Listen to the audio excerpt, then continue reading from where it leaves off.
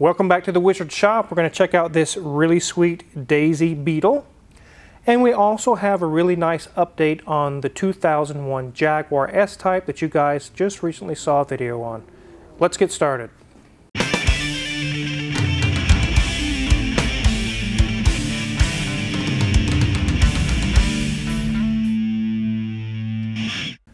So before we get started, we actually got a box in the mail today. It's a gift from I'm not sure how to pronounce it, Kova or Kowava Coffee.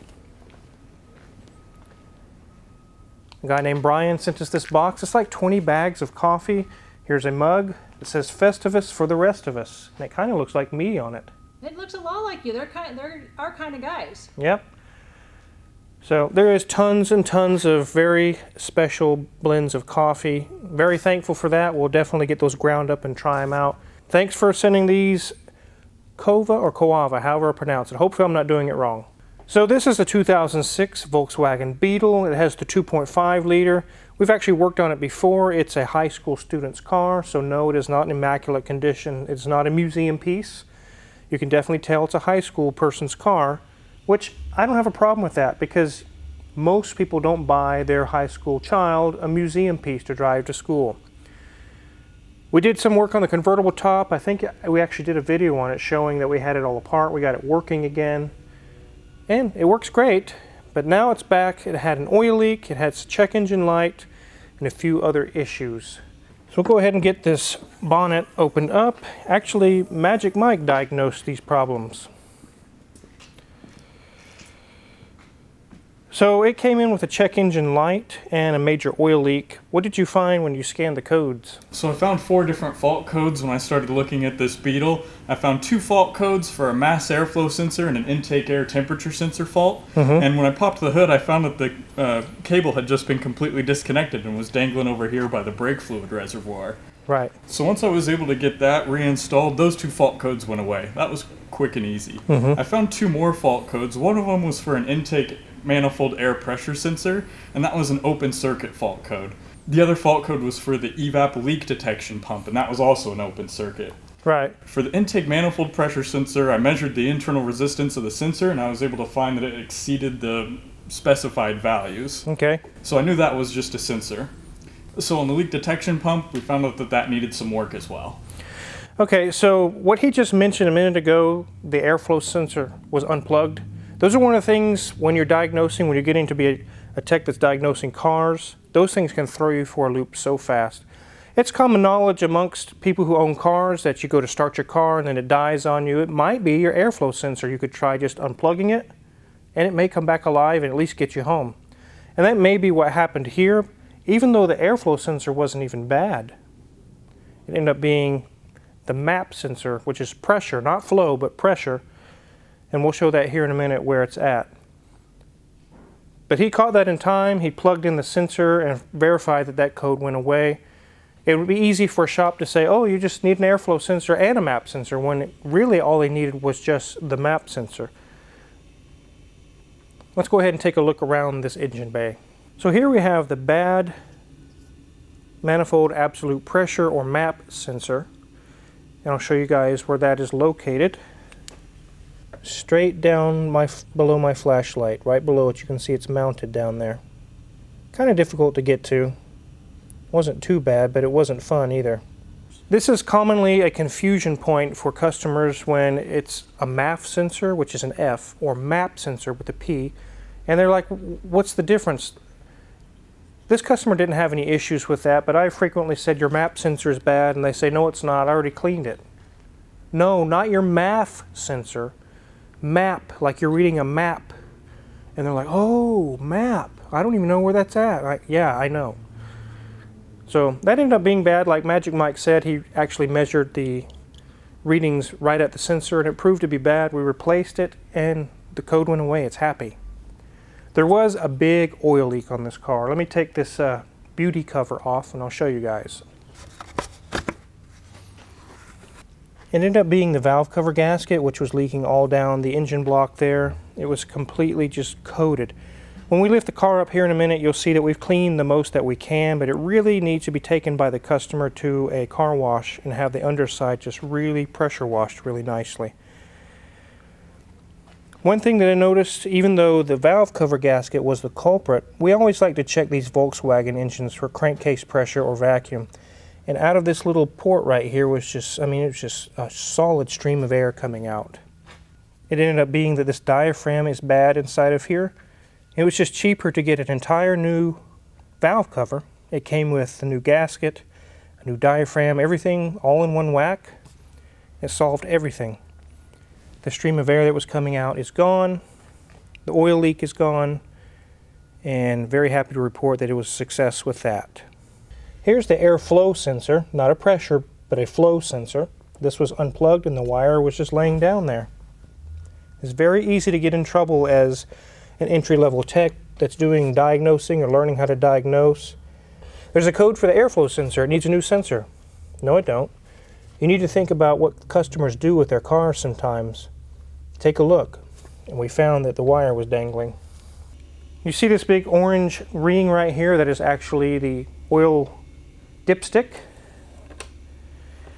On these Volkswagen Audi cars, there should be one inch of vacuum or less. You can use that with a vacuum gauge and just actually just stick a hose in there if it seals right.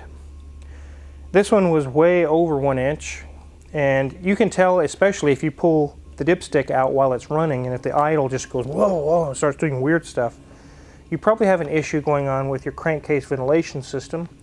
This is a very, very common Volkswagen Audi issue. Like I said, when I found out there was the leak and the diaphragm, there's no sense fixing one or the other. We just two birds with one stone on that deal.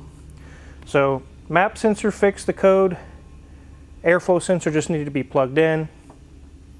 New valve cover, new diaphragm, and we also took care of the leak detection pump, got a new pump in there, everything's taken care of. That code went away, it's working and functioning properly. We'll go ahead and take a look under this car and look around it. It, like I said, it's not a museum piece, but for what it's meant for, it does, it does good. It's a nice little car. Let's get this thing in the air.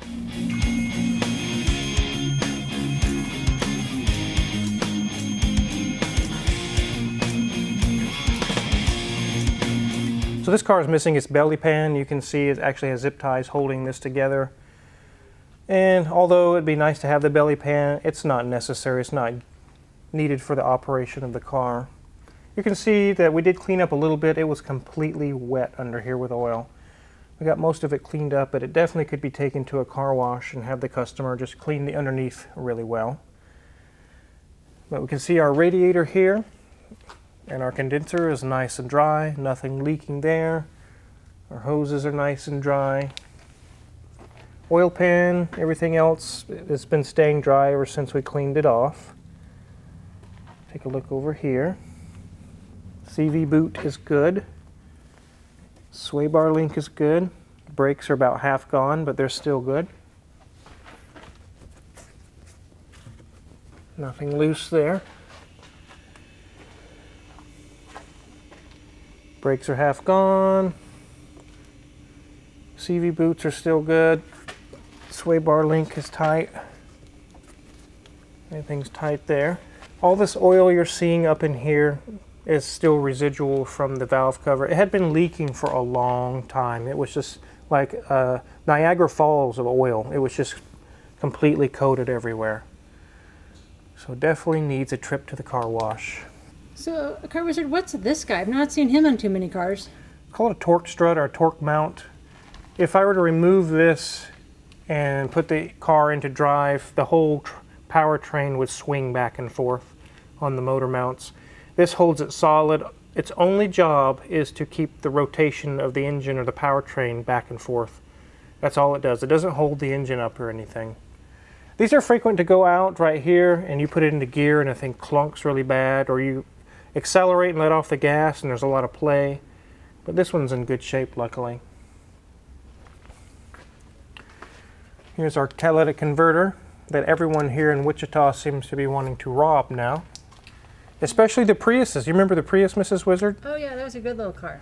We were hearing, we heard one go by when we were out to eat in Wichita and it sounded like a tractor going by. And I didn't know, but Hoovie actually told me because we, we met up with him to eat. That's common the Priuses are worth so much money, they're just hacking the, the catalytic converters off. What a weird world we live in. So anyways, you can see it had been leaking a long time. It was just coating the bottom of the car. Here's our muffler, resonator chamber. We'll go back here to the back wheels. Brakes are about half gone, but they're still good. I'm not sure what's going on with that. I don't even want to know. Here's our big suitcase muffler. I call it that because it's big and heavy as a suitcase. Here's a pine needle. You want a pine needle, Mrs. Wizard? Um, no, I'll let you keep that. Thanks. Brakes are good. Nothing's loose there. Shock. It may it has a little seepage. It may need a new shock at some point. This one is starting to seep as well. We'll let the customer know about it. But understandably so, the customer doesn't want to dump tons of money into this car. I, I wouldn't want to either. This is a, a high school kid's car. As long as it's safe, as long as it's doing what it's supposed to do and driving, you don't try to restore these cars. You just keep it functional. Tires look good. Good tread on them. With a high school kid's car, you worry about the tires, the safety, the drivability, things of that nature, so that they're safe and that they can get to and fro where they're going. The cosmetics, that's really not a huge concern. I don't even think most of the kids that have these cars even care. They just drive them. So let's go ahead and get this thing on the ground.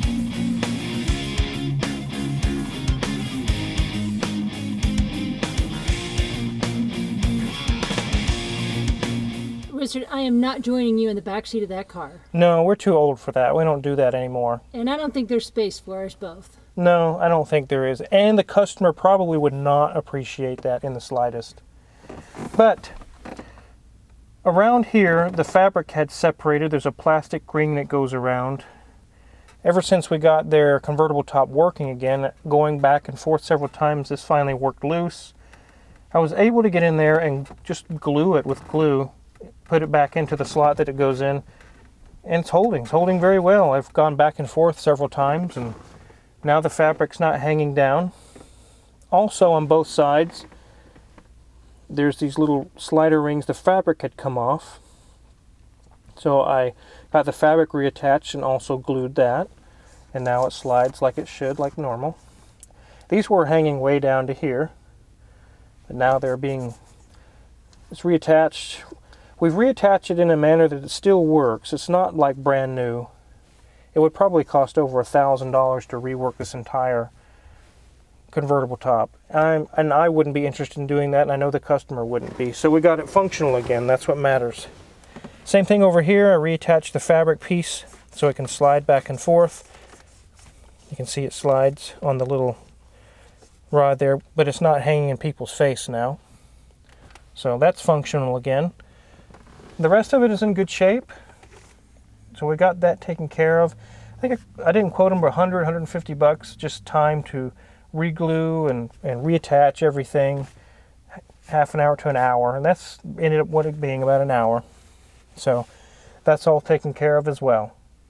So that took care of all the issues to make this thing functional again, get rid of the check engine light, everything else in decent shape. It's a good driver. We've been through this, Mrs. Wizard, haven't we? Our kids, their first cars. You don't buy them a 2012 Mustang or something really nice because they're probably going to destroy it anyway. Not that they intend to, but it's part of having kids. Uh, we, we gave our daughter a 2001 Northstar V8 Cadillac DeVille. Yeah, it's one of the first ones I did that I did the head studs on, and it was a total success. It was a really nice car when I gave it to the oldest daughter and her friends, and then they go around in it, and within what six months it was trashed. It wasn't at its best shape. The interior was just roached out. It was a nice car before that, but I knew that was going to happen. I anticipated it was going to happen, just like that's what's probably happening here. Not like I said, not that the kids intend to do that. That's just part of their growing up. They they're learning things still. Speaking of learning things, you guys just seen on the previous video on the uh, Jaguar S-Type that was a complete sham job from a previous shop. The customer had told us not to pursue the coils and plugs, but ever since they watched the video and they seen some of the things that we found together, He actually called today and said, you know what, I changed my mind. Go ahead and do all the plugs and the coils and everything. So let's head on over to the S-Type. You like my ribs, Mrs. Wizard? They are impressive and dripping, actually. Yeah, that's coolant coming out of one of the little ports. It looks like Robocop. Something. Anyways, this is the intake, upper intake, or the plenum, whatever you want to call it. Set it aside. And on this jack, we actually have all the coils and things out. We did a compression test just so we have the information for us to look at. All six cylinders are 175 to 180 psi all across the board. Very strong compression, very good. So that's definitely not an issue. We also watch the injectors while cranking. You can see down in the throat now of each intake port. All of them have a nice fine spray, so it's not an injector issue. They're all working. But I want to show you guys these coils. Let's take a look. So supposedly these coils were replaced five or six weeks ago, even though it sat there for five months. But you can see the dirt buildup in the coils. That doesn't happen in five weeks. This is years. And like I mentioned, they're all different brands and types. At some point, these were replaced, but it was a long time ago. Here's some more of them. This, these were definitely not done five weeks ago. Here's one of the spark plugs that we pulled out. You can see a rust ring around, it's like a brown color. That wasn't replaced four weeks ago. So it still had the misfire, very slight misfire when we had everything done. Now we get to dive in on this. We're going to put all new plugs, all new coils, new plenum gaskets. We know the injectors are working and we know the compression is good, so we'll have all those things behind us. Like I mentioned before, tune-ups can be very expensive, or I guess you don't call, we don't call them tune-ups anymore. But now that we got this massive intake out of the way, you can see these are where the coils were. On that side, they're easy to get to. On the passenger side, they are not. They are now because the intake's out of the way. Sometimes we get customers, like I've mentioned before, why does it take so long to change out plugs? Well, now you see. Some cars take quite a while. So there was one final last issue on this S-Type was the misfire, and I'm glad the customer allowed us to go ahead and solve that for him. We'll get this taken care of, and finally, all the issues will be done in one week. Not six months or five months. One week. And it wasn't even hard. I don't know, guys. Anyways, regardless of what's all the negative story with this car, I'm glad we can get it fixed for the customer. We'll be a happy customer. We'll be a happy shop because we'll get a nice payday out of the deal. And that's what we're here for. I enjoy uh, making a customer happy and I get paid. The next time a car breaks down one of their other cars they own, who are they going to call? They're going to call me. That's more business for me. And that's the way it should work, not robbing people all at one whack, knowing they probably won't return. So let's get everything we can all at once and charge them for things we didn't even do. I don't know. Not a very good business plan. So if you're curious what kind of tools we use to work on the Daisy Beetle or the S-Type, check my Amazon affiliates link in the description below. We get a small cut and we really appreciate it make sure to hit the subscribe button because I looked at the schedule and there's more cars coming in next week and the next week and a third week after that. So, more videos for you guys. Thanks for watching.